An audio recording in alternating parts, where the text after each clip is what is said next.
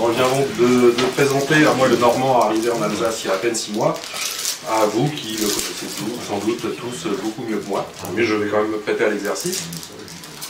Donc pasteur, théologien et historien, Martin Hart est au premier chef euh, spécialiste de Luther, auquel il a consacré euh, sa thèse d'État, portant précisément sur la christologie du, réformateur allemand, en 1971.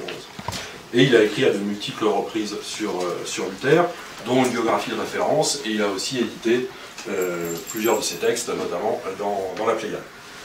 Il a également travaillé sur d'autres réformateurs, entre autres Martin Luther, évidemment, et il a initié le groupe de recherche sur les non-conformistes religieux des 16e et 17e siècles, dans le cadre duquel il a euh, notamment travaillé sur les, anabaptistes. Il a également beaucoup écrit euh, sur l'Alsace, je ne citerai euh, qu'un seul, seul, titre, Histoire et aléa de l'identité alsacienne, paru en, en 2011. Je n'évoquerai pas ce soir le théologien et l'acteur de l'œcuménisme, puisque vous pouvez sortir d'ores et déjà vos agendas. Vous pourrez retrouver Martina le 23 mars prochain, puisque nous aurons cette fois Martina comme grand témoin pour euh, la présentation du livre d'André Birmelet consacré à la Concorde de Leuenberg. Voilà, vous êtes déjà tous incités, mais il y aura une autre conférence euh, ici euh, qui aura lieu le 9 mars, je vous en reparlerai tout à l'heure. Donc, professeur émérite à la faculté de théologie, Marc Linhart est aussi une figure politique du protestantisme, puisqu'il a été au tournant des années 90 et 2000 président du directoire de l'ECAL, du chapitre Saint-Thomas et membre du conseil de la, Fédération protestante de France.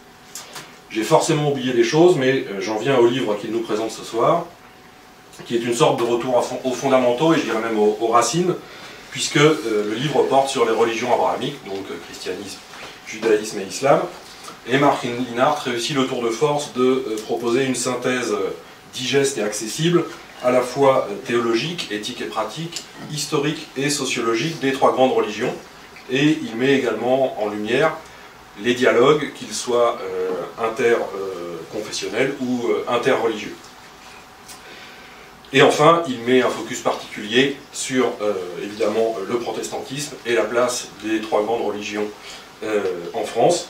Et alors qu'il reste une place devant pour un invité de marque, je cède la parole à Marc Linhart. Merci et bonne soirée. merci pour cette présentation je vais dire maintenant salutations.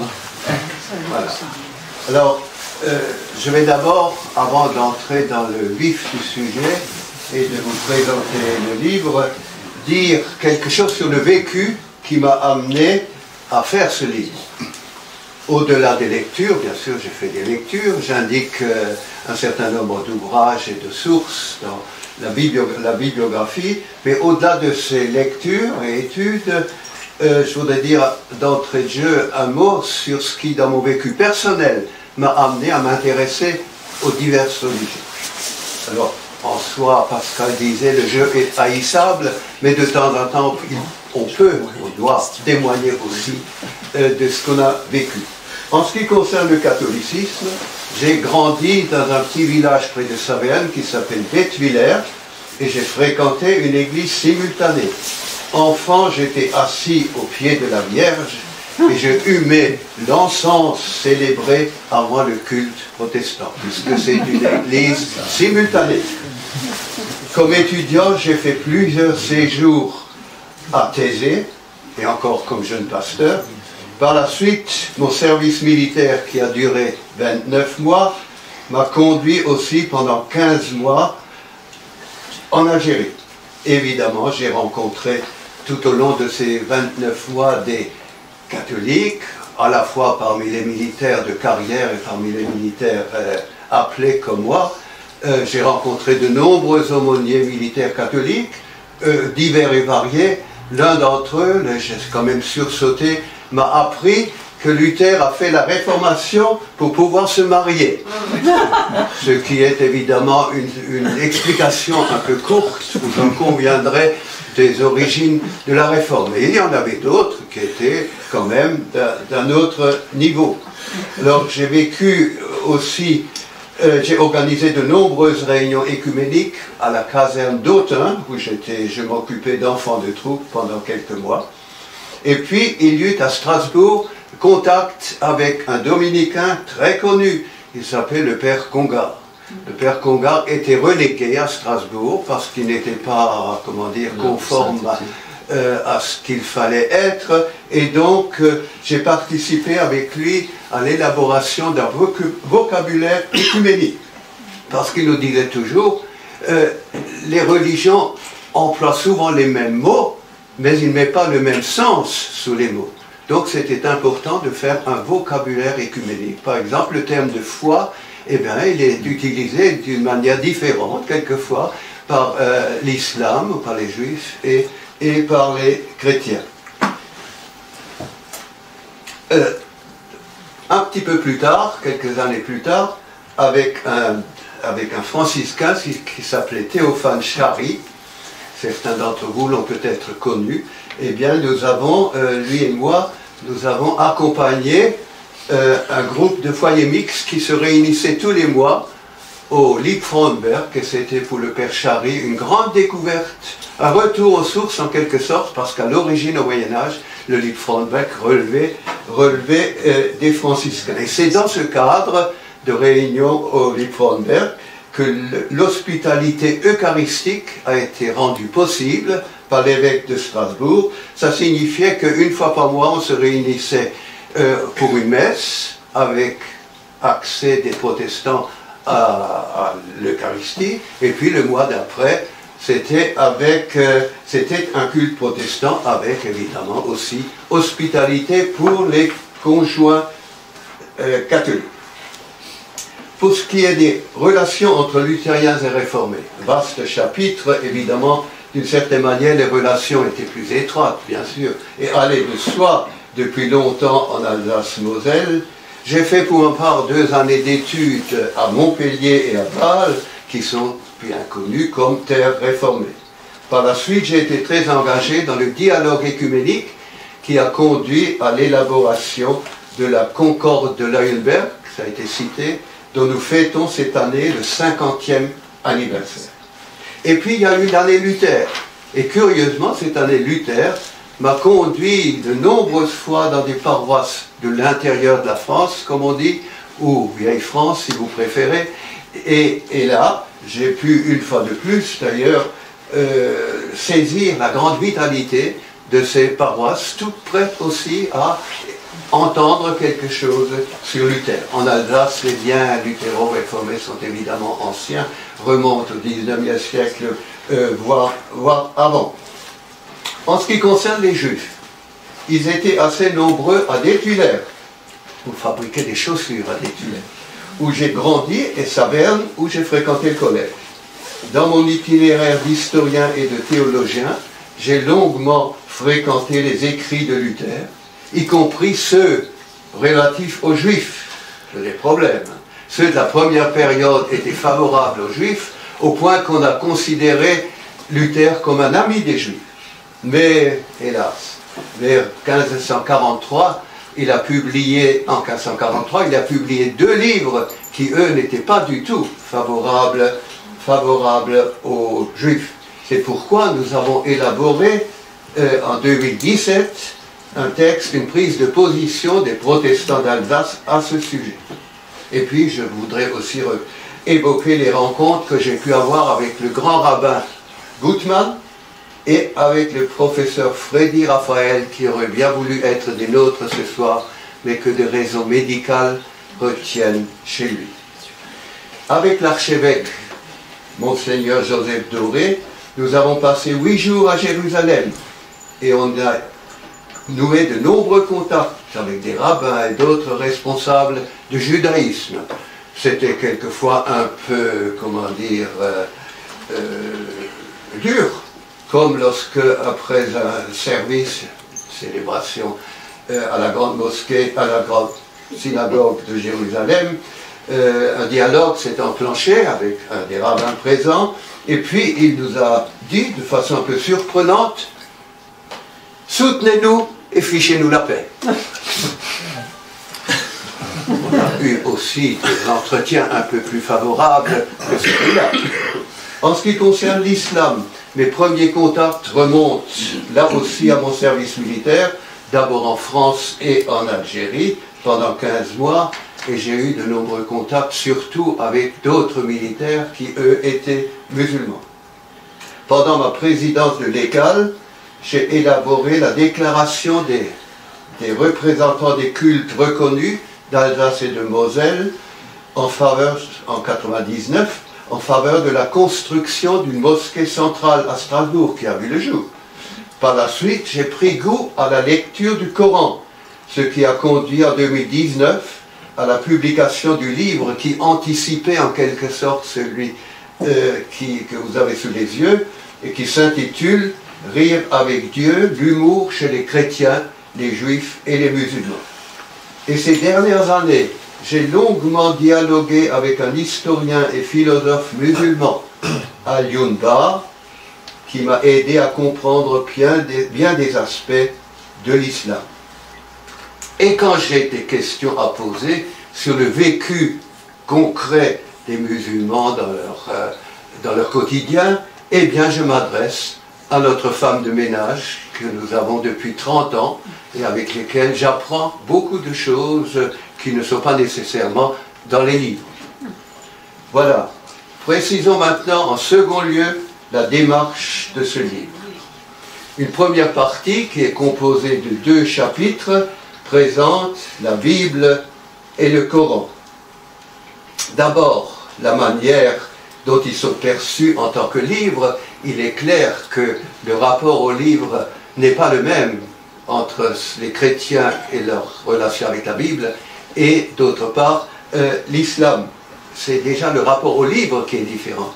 Je ne parle même pas du contenu, mais sur le contenu, on a pu évidemment mettre en œuvre, mettre en évidence un certain nombre de rencontres euh, entre les deux religions.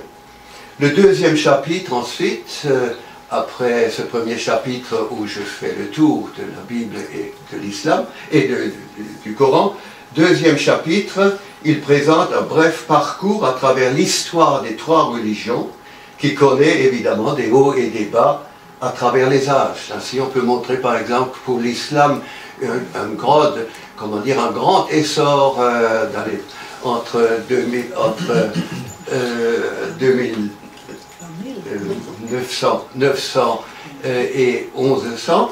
Euh, et après, à l'heure où le christianisme, comment dire, prend grand élan avec la Renaissance, c'est un temps plutôt de frigidité et de, conservatisme dans l'islam, mais qui va de nouveau connaître un, un, nouvel essor à partir du 19e siècle.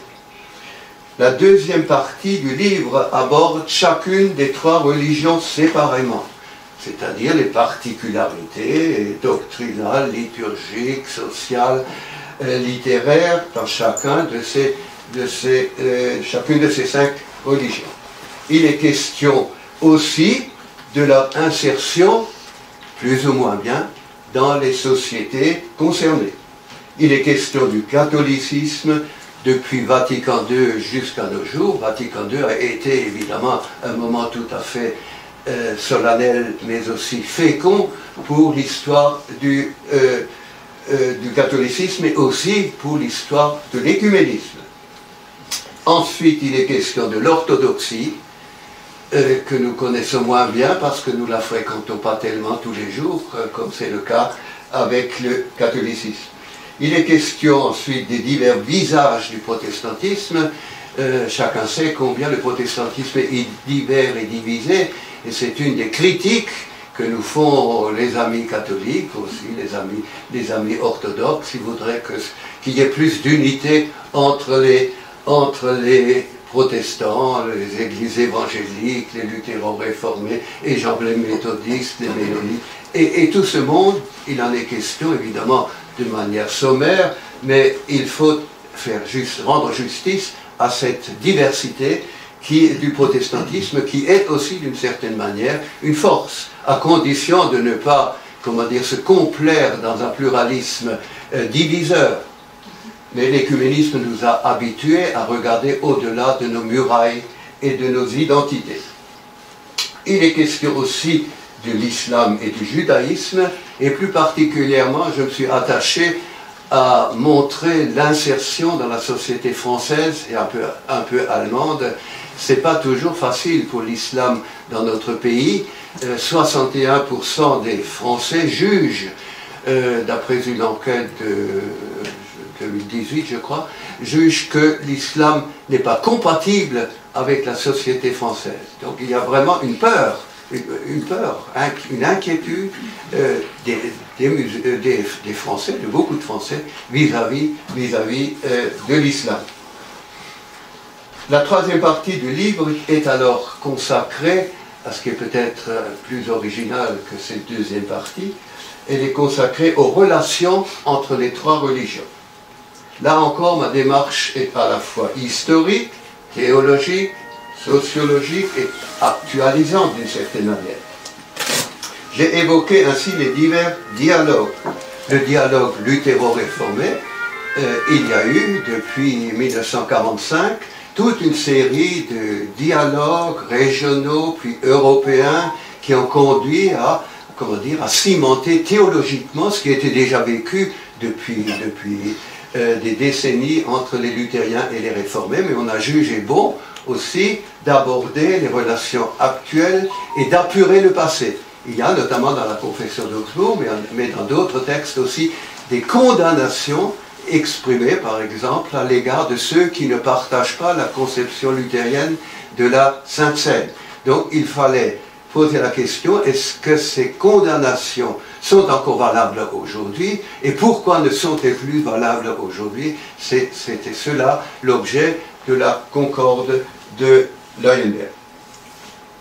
Il y a eu le dialogue protestant-catholique, les dialogues de l'orthodoxie et de l'écuménisme aujourd'hui, et aussi les relations entre christianisme et judaïsme, et entre christianisme et islam, et aussi entre judaïsme et islam. C'est un, sujet que nous connaissons mal parce que nous sommes par notre histoire un peu en dehors, mais il faut bien savoir que au Moyen Âge, euh, les relations entre les juifs et les musulmans ont souvent été très proches, notamment, notamment en Espagne, euh, autour du, 11e euh, et 12e, 12e siècle. Arrivé à ce stade du livre, je prête attention dans une quatrième partie aux défis sociétaux et culturels auxquels les trois religions, comme d'autres d'ailleurs, non abrahamiques, sont confrontées dans la société d'aujourd'hui. J'en dirai un mot dans mes conclusions. Le livre débouche dans une troisième partie et dernière partie sur ce que j'appelle l'apport des religions abrahamiques qui est à mes yeux toujours pertinent aujourd'hui, évidemment je ne vais pas dire le contraire, et qui s'exprime premièrement par une foi, avec toutes ces variations de la foi, d'autre part euh, par un vécu, comment vivons-nous les uns et les autres la souffrance, par exemple, ou le mal, le problème du mal, une grande place dans les religions, les fêtes, les à la fois une proximité et puis quand même des différences, notamment dans les rites. Dans les rites, quand les cabanes se dressent dans le cours, évidemment, ce n'est pas tout à fait notre façon de, faire, mais euh, ça, nous questionne. Et puis, le livre se termine euh, par un chapitre sur l'éthique, c'est-à-dire les engagements euh, dans la société, le regard sur, sur l'autre, et beaucoup d'autres approches. Tout cela relève d'un pari, en effet, pouvoir saisir entre moins, en moins de 500 pages l'essence même de ces religions et leur place dans la société d'aujourd'hui. J'en arrive maintenant à quelques conclusions que j'ai tirées tout au long de ce livre, mais que j'ai formulées aussi. Il y a d'abord un, constat à faire. Malgré leur affaiblissement en Europe surtout, il ne faut jamais penser d'ailleurs que l'Europe, qu'ailleurs dans le monde, ça se passe comme en Europe. Ces religions, c'est-à-dire le judaïsme, le christianisme et l'islam, sont toujours là. Même en France, par exemple, où certes, le nombre de fidèles a diminué, en particulier pour les chrétiens. Les musulmans, qui sont aujourd'hui 5 millions en France, sont majoritaires dans un département qui est la Seine-Saint-Denis. À Strasbourg, il y a aujourd'hui autant de musulmans que de protestants. 40 000 ou même, même un peu plus. Et dans le monde, il y a aujourd'hui 2 milliards de musulmans et un petit peu plus de chrétiens. Premier constat. Deuxième constat. Pendant des siècles, les trois religions abrahamiques se sont affrontées, voire combattues. Euh, le rapport entre, même, le rapport entre catholiques et protestants n'était pas toujours très paisible dans les villages alsaciens, comme chacun sait. Et puis, euh, les Alsaciens n'ont pas brillé de courage lorsque, lorsque les Juifs ont été chassés quasiment de l'Alsace en 1940. Mais avant, avant, les contacts étaient beaucoup plus positifs, mais en 40, euh, et les Juifs, euh, j'ai lu notamment un récit à ce sujet qui, dit, qui se terminait par ces mots, nous avons été bien seuls en 1940. Nous avons été bien seuls en 1940. Donc, affrontés, combattus dans le quotidien des relations, et puis aussi évidemment par les prêches et par les livres.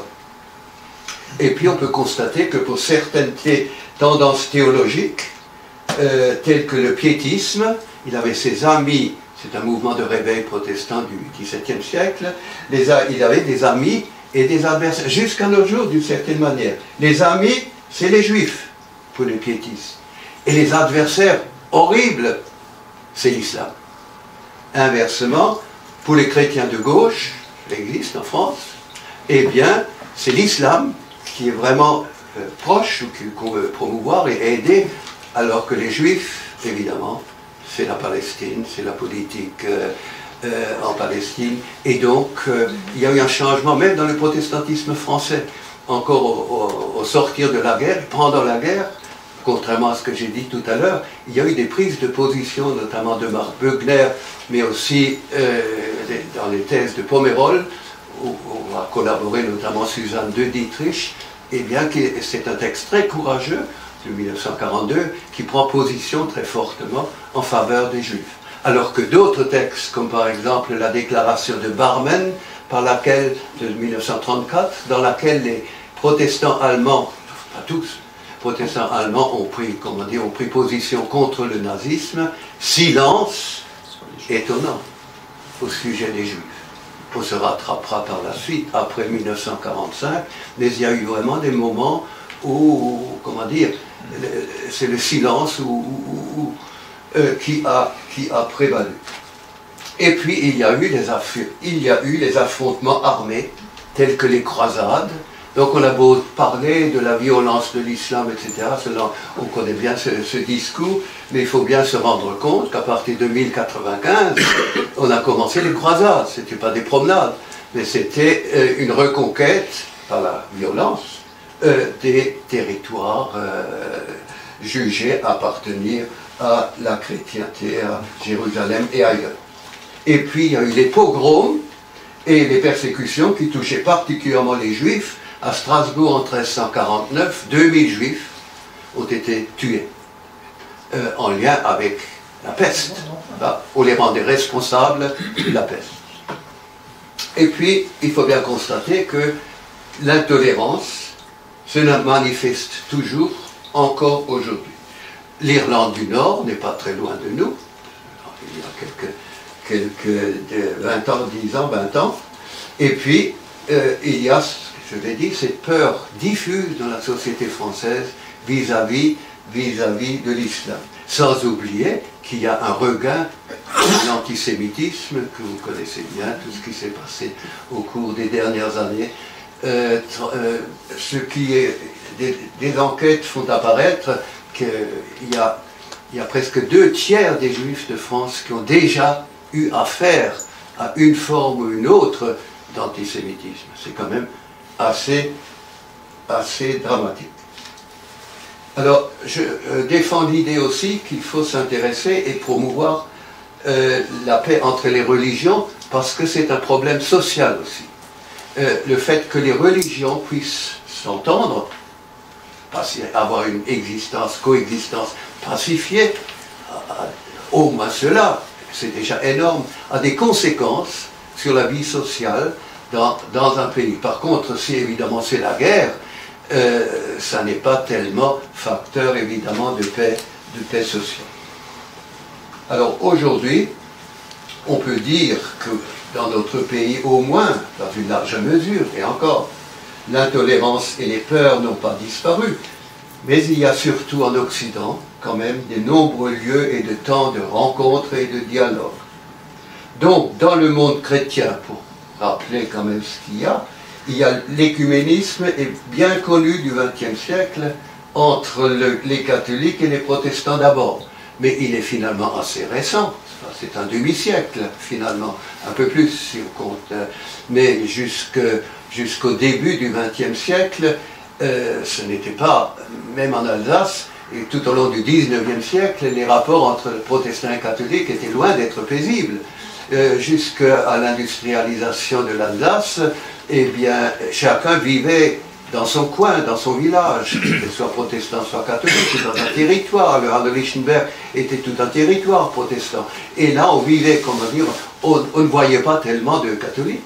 Mais à partir du moment où il y a eu l'industrialisation, tout le monde allait à l'air euh, à, à chez les Dietrich, ou dans les usines de Dietrich, et, d'autres lieux, eh bien, il y a eu, dire, euh, un mélange, oui, les gens ont dit, mais ah, il y a des catholiques ici, comment tu t'appelles, etc. Ils ont découvert qu'ils avaient d'autres prénoms, mais qu'à part ça, ils étaient, curieux ou pas curieux.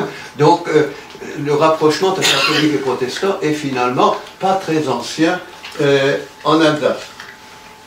Alors, cela dit, sur le plan théologique proprement dit, c'est même encore plus récent, ça date d'après la, guerre, la dernière guerre mondiale, et après Vatican II, qui a reconsidéré le statut, l'identité des frères séparés, des frères et des sœurs séparés, et donc c'est enclenché un processus, notamment théologique, qui a conduit en 1999 à un texte d'accord fondamental euh, une déclaration commune sur la doctrine de la justification par la foi, ce qui était au cœur de la démarche protestante euh, depuis le XVIe siècle, eh bien, ces théologiens catholiques ont réussi à dire et à, dire que c'était aussi, d'une certaine manière, euh, une conviction catholique.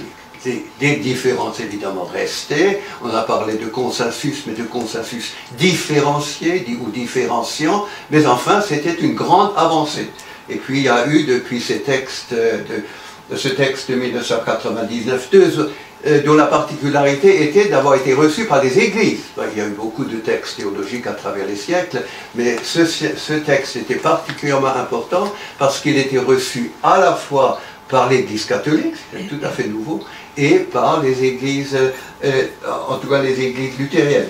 Après, il y a eu deux autres textes qui ont paru en, en 2005 et 2013, l'apostolicité de l'Église, du conflit à la communion, mais ceux-là sont restés en quelque sorte dans l'antichambre euh, des théologiens, ils n'ont pas fait l'objet d'une réception par les Églises. Cela dit, il semblerait que le mouvement euh, écuménique catholique protestant connaisse aujourd'hui un certain ralentissement ou un certain essoufflement on pourrait maintenant évoquer quelques signes de cela, je ne m'y prêterai pas à, ce, petit jeu-là. Euh, mais ce qui semble sûr, c'est qu'une quête identitaire s'affirme de nouveau dans le comportement, y compris quelquefois du clergé, dans les attitudes, dans, euh, d'autres, formes, une quête identitaire. Euh, pour autant, le mouvement continue.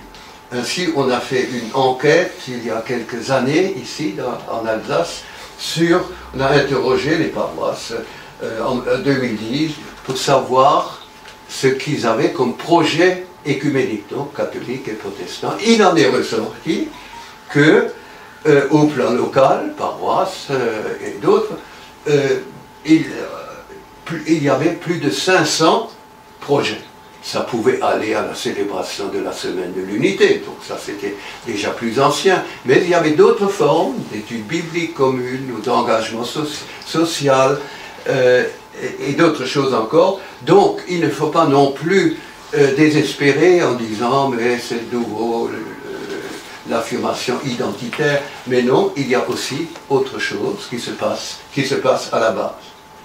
Alors les rencontres et les dialogues entre chrétiens, juifs et musulmans euh, sont aussi une réalité qu'il faut bien prendre en compte. Pour ce qui est des rapports entre chrétiens et juifs, il y a évidemment, y compris en Alsace d'ailleurs, euh, les amitiés judéo-chrétiennes qui sont présents à Strasbourg, à Colmar et dans bien d'autres lieux, et puis à l'association PEGI, autre lieu de rencontre entre juifs et chrétiens. Les réunions avec les juifs au sujet d'Israël, puisque le problème est de savoir euh, euh, quelle est la place d'Israël et, de la religion juive euh, dans le monde d'aujourd'hui, d'une part, et puis, comme ils se réclament évidemment de la Bible, c'est-à-dire pour eux du Premier Testament, et que le Premier Testament, l'Ancien Testament, euh, est aussi dans la Bible des chrétiens, voilà un point de départ qui conduit au moins à se demander, mais qu'est-ce qu'on a de commun, puisqu'on a au moins ces deux, ces deux livres, cet ensemble de livres. Et qu'est-ce que ça entraîne comme perception de l'autre? Et y a-t-il, qu'est-ce qu'on peut dire en commun et sur quoi portent les divisions qui restent?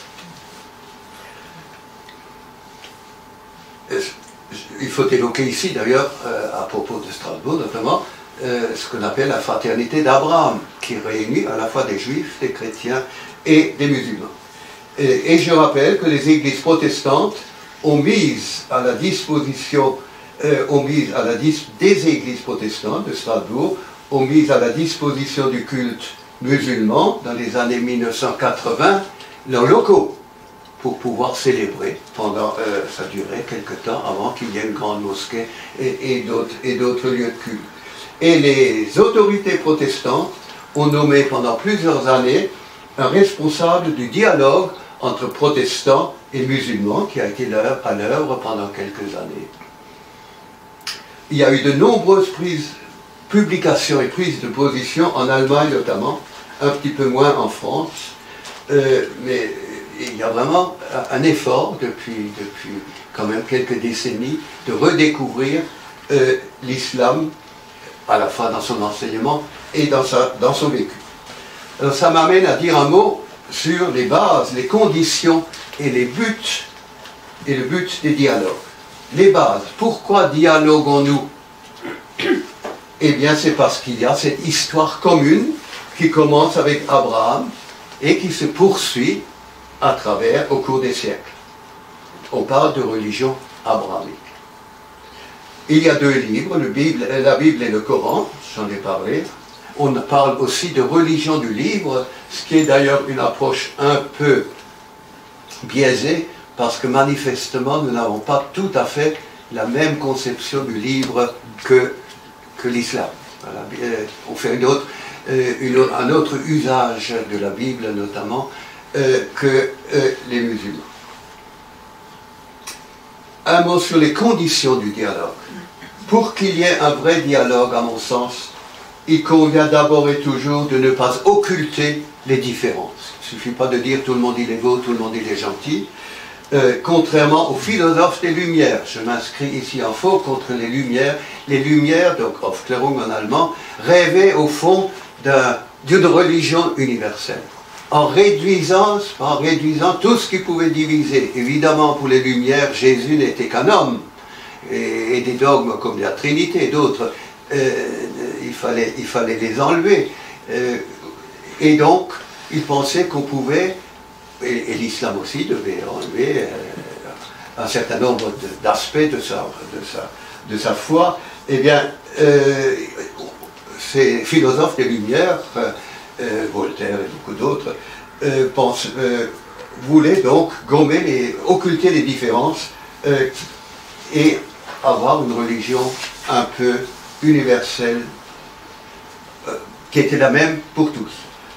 Deuxième observation, il faut distinguer quand on dialogue avec d'autres religions ce qui est fondamental, ce qui fonde une religion, ses croyances, ses rites, et ce qui est historiquement daté. Il faut bien euh, admettre que le, voile, par exemple, ou la polygamie, ce sont des, choses qui sont apparues dans l'histoire, d'ailleurs même avant, l'émergence de l'islam.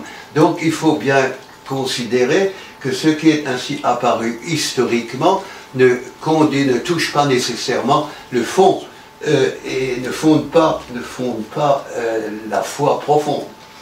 Ensuite, il faut prendre en compte, mais c'est presque une lapalissade de le dire, encore faut-il quand même en être convaincu, il faut rendre compte, faut prendre compte Dieu comme mystère. Il faut se rendre compte que Dieu échappe à toutes nos catégories ou pensées humaines qui sont toujours relatives, historiquement datées, approximatives. Ensuite, il convient de se respecter en évitant tout jugement et tout prosélytisme.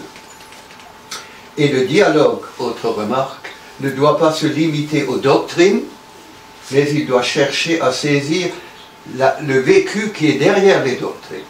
Les doctrines, c'est une manière d'exprimer un vécu, d'exprimer une révélation, etc. Mais euh, ce qui est derrière, ce qui est vécu, est, fondamental. Ce n'est pas simplement l'expression que ça a connue à travers des théologies. D'ailleurs, je relève que le christianisme est presque la seule religion qui a toujours aussi développé une grande, de grande théologie, de grands systèmes théologiques. Il n'y a pas de Thomas d'Aquin dans l'islam ni même dans le judaïsme.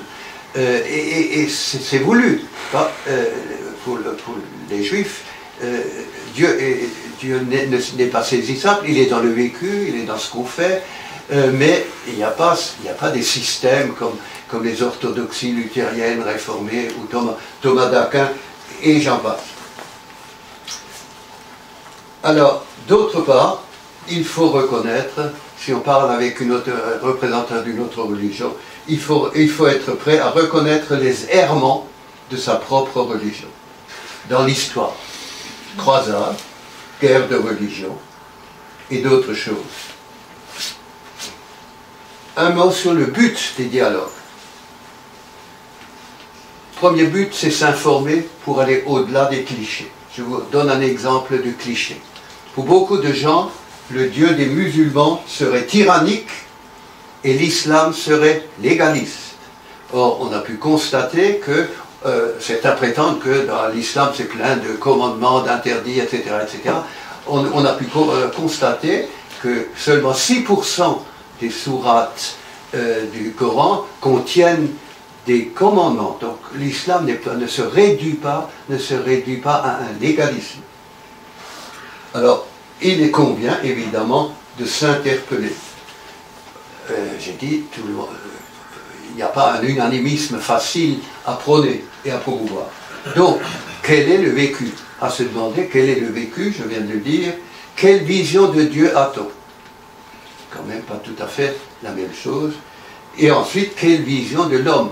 Il est clair que euh, tout ce que dit le christianisme avec l'apôtre Paul, notamment, sur le péché originel, ne se retrouve pas ni dans l'islam, ni chez les juifs qui ont une conception plus, plus optimiste, pourrait-on dire, que ce n'est le cas euh, du christianisme. Mais il faut, il faut en parler. Autre question, évidemment, euh, pourquoi, pour les chrétiens, à la différence des musulmans, Jésus-Christ n'est pas seulement homme pour les chrétiens, mais il y a des chrétiens, comme vous le savez bien, notamment au moment des Lumières, euh, pour lesquels Jésus n'était qu'un homme. Pourquoi Qu'est-ce qui fonde à dire que Jésus-Christ était autre chose encore qu'une simple, euh, une simple humanité? Donc la place de Jésus est un, grand débat entre, si on dialogue, entre les trois, religions. Euh, il faut aussi faire un effort pour les chrétiens de dire et d'expliquer aux autres pourquoi la doctrine de la Trinité ça, c'est pour les musulmans inconcevable. Inconcevable parce qu'ils disent ça, c'est du, tritéisme, du polythéisme, mais euh, Dieu, ça fait partie même de la confession de foi, Dieu est un. c'est tout. Et, pas, donc, pas d'approche, pas d'approche trinitaire. Question à poser aussi. Comment et pourquoi tenir compte Là, c'est une chose très, une approche, un questionnement très important. Comment et pourquoi tenir compte de l'historicité des livres saints. Les chrétiens pratiquent ce qu'on appelle l'exégèse historico-critique. C'est-à-dire qu'il pose la question du texte, de son origine, de, son vocabulaire, du contexte, euh, et donc il distingue, il distingue ce qui vient de tel euh, environnement historique et, d'autres textes. Euh, et, et ça, pour l'islam, ce n'est pas ça.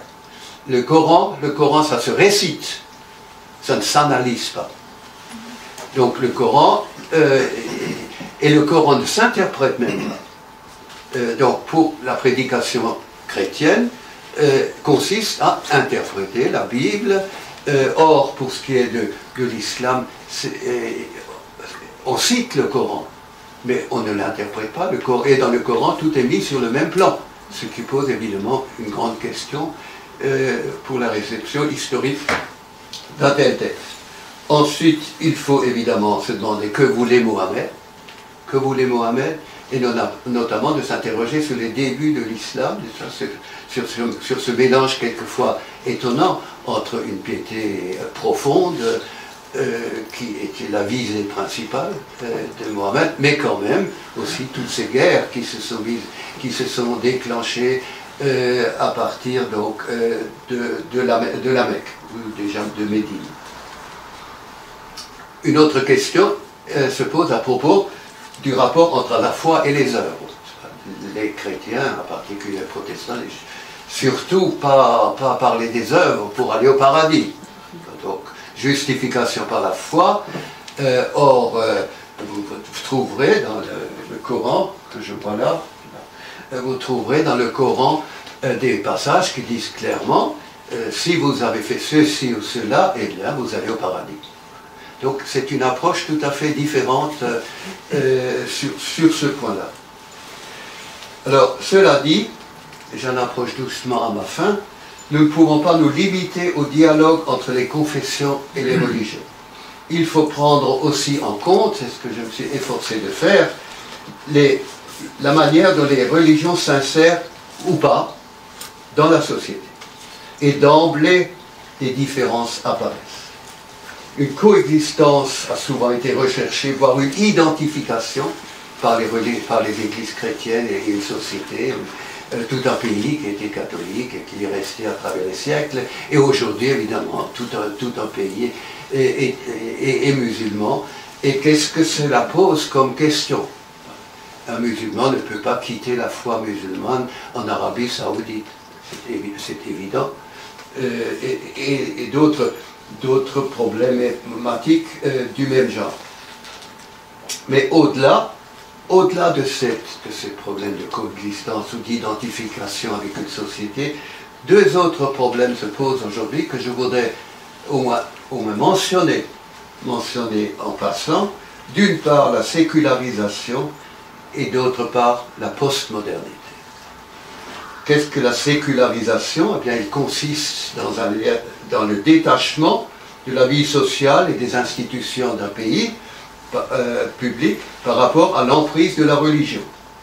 Certains pensent d'ailleurs que c'est même le fruit du christianisme, que, le christianisme justement, en distinguant bien Dieu de la nature, Dieu de la création, euh, aurait aussi agi en fonction d'une, comment dire, d'une sorte de, sécularisation.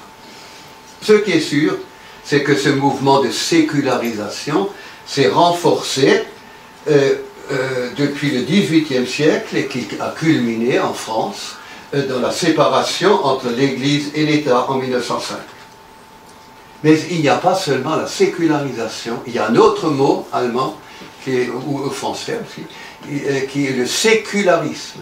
Le sécularisme érige en quelque sorte la division, ou, la division en absolu et en et en voulant réduire et réduire la religion dans l'espace uniquement privé, donc exclu de faire de l'évangélisation, exclu d'avoir des signes religieux dans la, dans la société. Donc c'est une manière donc d'absolutiser la, la, religion dans son côté intime et intérieur, et c'est tout. Il y a d'autre part ce que j'appelle euh, l'émergence dans le dernier tiers du, XXe siècle, tout récemment, euh, d'un mouvement qu'on a appelé postmodernité ou ultramodernité. Ce mouvement s'oppose à l'idée de la modernité. La modernité apparaît donc au XVIIe, XVIIIe siècle. Euh, euh, la postmodernité s'oppose à l'idée qu'il y aurait une seule vérité. La modernité dit, vous avez la raison, avec cette raison, vous pouvez toucher, trouver la, la, la vérité, quête de la vérité? Eh bien, la postmodernité rejette cela, rejette l'idée que la raison, et s'oppose au rationalisme, que la raison pourrait saisir le tout de la réalité, y compris Dieu, ce qui était l'approche moderniste. Euh, autre approche moderniste, le progrès continu de la science est possible. Le religieux tel n'est pas écarté par la postmodernité, c'est une des nombreuses approches du réel euh, pour faire l'expérience du réel. Je ne vais pas décrire plus longuement cette approche et les critiques qu'elle suscite, mais c'est vraiment un problème très réel aujourd'hui de la part des religions abrahamiques. Quoi qu'il en soit, ces deux mouvements ou tendances que je viens d'évoquer sont des défis pour les trois religions qui doivent s'interroger sur la manière d'y répondre. Merci pour votre attention.